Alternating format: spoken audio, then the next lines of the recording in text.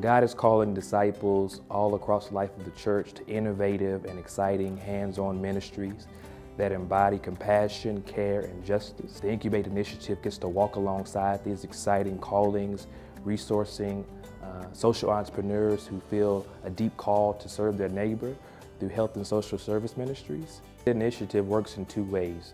Uh, one is how we support those who are in the idea or very beginning startup phase, and that's done through our SENT seminar uh, which is basically a, a annual seminar that gathers people who are seeking to start or have an idea around creating a social enterprise and they are given resources as relates to what are the starting points to actually launching into a social enterprise.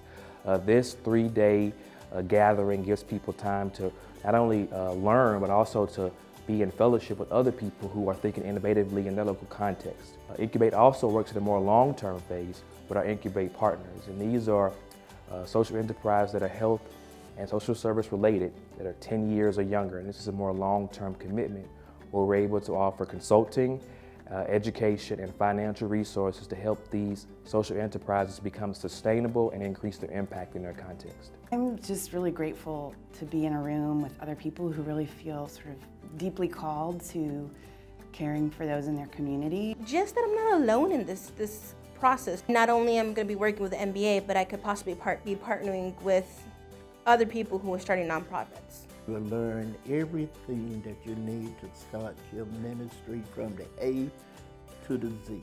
So never pass up an opportunity because your ministry will make room for you. My name is Pastor Yanni and I'm here at the NBA SENT seminar. I'm having an amazing time crafting, dreaming into and envisioning uh, my new nonprofit called My Supernatural Life. Essentially, My Supernatural Life is all about getting folks to eat clean, think clean, and be clean. This has been a fascinating and wonderful time where I'm learning so much about how to start my nonprofit, how to get it going, and I'm so thankful for the support and the encouragement that I'm finding here. The SENT seminar was an amazing experience. I got to connect with um, other individuals who are working on amazing projects throughout the, the nation. It was amazing to spend so much time with others who are doing similar work so that you don't feel alone. And I just want to say thank you to Darnell Fennell and SENT NBA and SENT Seminar for this opportunity. When I think about the typical person who contacts the NBA's Incubate Initiative, these are people who have a big imagination. They're imagining the world to be something better and they feel compelled to respond to that uh, through their calling of a social enterprise. And often they find a sense of relief and a sense of really being seen and heard when they know the NBA has a commitment to supporting and resources people who are starting social enterprises.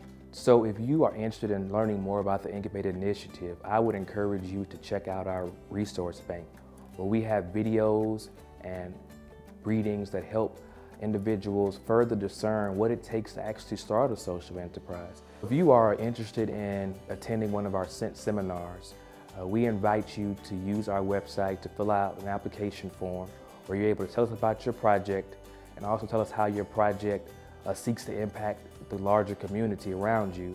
And we look forward to reviewing your application and being in conversation with you and inviting you to be a part of our next SENT seminar.